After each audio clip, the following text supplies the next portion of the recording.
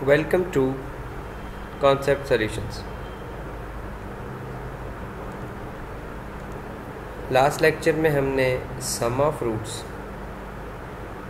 and product of roots की बात की थी आज हम इन्हीं को, इसी लेक्चर को आगे फॉरवर्ड मूव करेंगे अगर हमें sum of roots and product of roots पता हो तो हम किसी भी रूट की एक एक्सप्रेशन को फाइंड कर सकते हैं। फॉर एग्ज़ाम्पल मैं यहाँ लिख देता हूँ कि क्या मैं अल्फ़ा माइनस बीटा फाइंड कर पाऊँगा?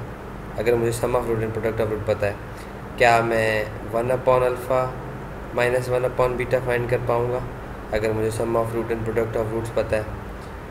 Similarly alpha square plus beta square and many more अगर मैं एक इक्वेशन लेता हूँ कि x square plus six x plus nine is equals to zero और इसको हम सॉल्व करते हैं कि हमारे पास आ जाता है एक्स स्क्वायर प्लस फैक्टराइज करते हैं इसको।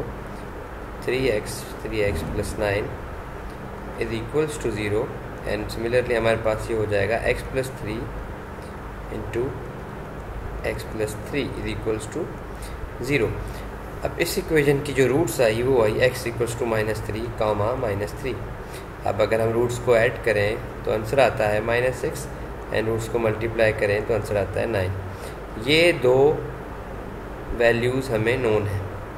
अब हम चाहते हैं कि हम alpha minus beta and one upon alpha minus one beta और alpha square plus beta square को फाइंड आउट करें. तो उसके लिए हमें इसको इन चारों, तीनों एक्सप्रेशंस को सिंप्लीफाई करना पड़ेगा। सबसे पहले हम इसको एडिट कर लेते हैं। अब अगर हम अल्फ़ा माइनस बीटा देखें तो ये हमें मैनिपुलेट करके इसको इस तरह का एक्सप्रेशन बनाना पड़ेगा, जिसके अंदर अल्फ़ा प्लस बीटा भी हो एंड अल्फ़ा बीटा भी हो।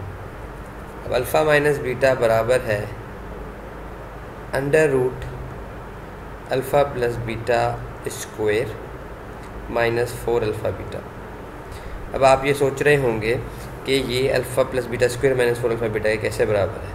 तो इस तरह बराबर है कि अगर मैं अल्फ़ा माइनस बीटा का स्क्वेयर लूँ तो वो बराबर होता है alpha square plus beta square minus two alpha beta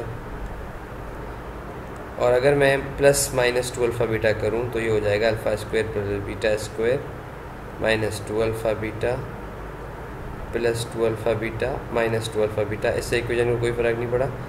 अब इस पूरे को मैं एक फार्मूले में लिख लेता हूँ कि अल्फ़ा प्लस बीटा का होल स्क्वायर माइनस ये दोनों ऐड हो जाएँगे और फोर अल्फ़ा बीटा हो जाएगा। और यहाँ अल्फ़ा माइनस बीटा का स्क्वायर आ जाएगा। दोनों साइड अंडर रूट लेंगे तो ये अल्फ़ा प्लस बीटा का square minus four alpha beta हो जाएगा। सिमिलरली और मैं इससे अल्फ़ा माइनस बीटा निकाल लूँगा। हमारे पास अल्फ़ा प्लस बीटा था माइनस सिक्स जिसका स्क्वायर हो जाएगा तो हो जाएगा थर्टी सिक्स एंड माइनस हमारे पास नाइन था, हमारे पास अल्फ़ा बीटा तो four into nine thirty six तो ये आंसर आ जाएगा ज़ीरो यानी कि अल्फ़ा माइनस बीटा इस केस में ज़ीरो है, जो कि ज़ीरो होना भी चाहिए।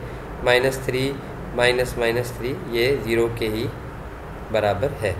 अब आ जाते हैं हम alpha square plus beta square में। Alpha square plus beta square इसी के अंदर है।